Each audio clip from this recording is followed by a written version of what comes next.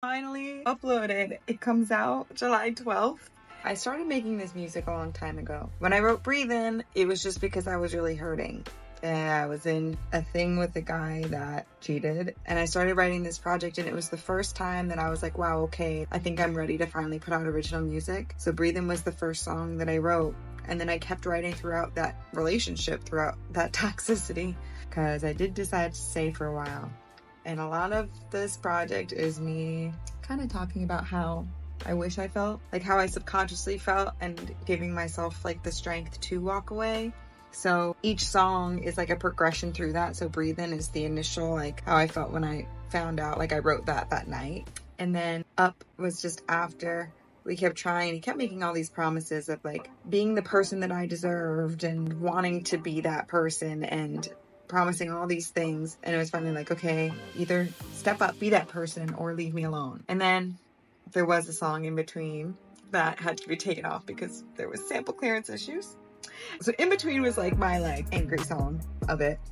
And then language, I remember writing after because we had broken up and then he kept showing up and promising things would be different. I would hesitate and then I would take him back and then things would be the same for like a week, maybe two, and then it would go back to the same cycle of like day for a little bit breakup, day for a little bit breakup. Like and it was so toxic. So language was that first day that I realized you don't really even hear me when I'm talking. You you really genuinely just don't understand me as a human.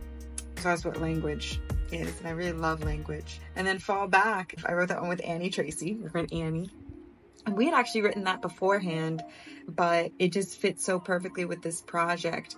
We had written it, we didn't really know what it was for. Like initially it was for pitch, but it's just this idea of finding yourself and falling in love with yourself again after something like that.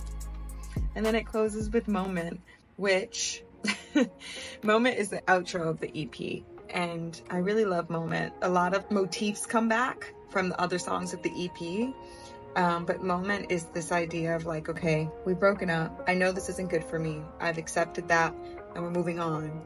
But wouldn't it be nice if we could just like put all that aside for like a second and just live in that moment, in that place of like pretending that everything was great, like it didn't end, like it didn't hurt to try to just be friends, if only for a moment.